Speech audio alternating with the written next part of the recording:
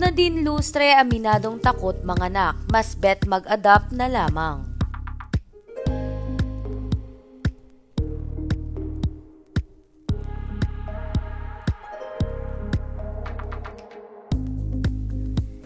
Inamin ng aktres na si Nadine Lustre sa isang panayam na mas gusto niya na lang mag-ampon dahil natatakot siyang manganak. Lumabas si Nadine Lustre bilang guest interviewee sa kamakailang vlog ng aktres na si Bea Alonso na kung saan pinapalay detector test ni Bea ang kanyang mga bisita tulad ni Nadine. At dito na nga, inatanong si Nadine ni Bea kung gusto ba nitong magkaroon ng kanyang sariling anak in the future.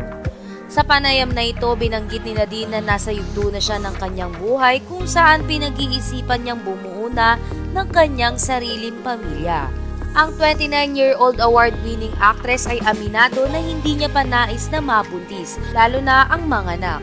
Sinabi din niya na baka mag-ampon na lamang siya ng bata upang matulungan ang mga batang walang magulang o mga naulila.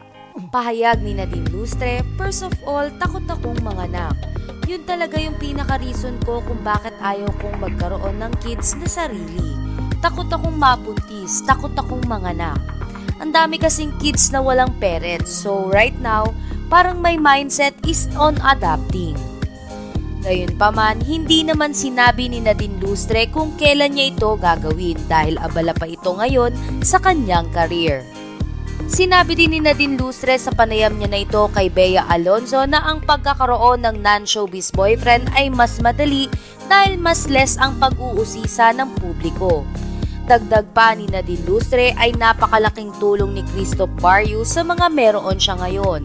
Sinabi din nitong magkasundo sila ni Christoph Barrio sa napakaraming bagay at parehas din sila ng mga goals sa kanilang mga buhay.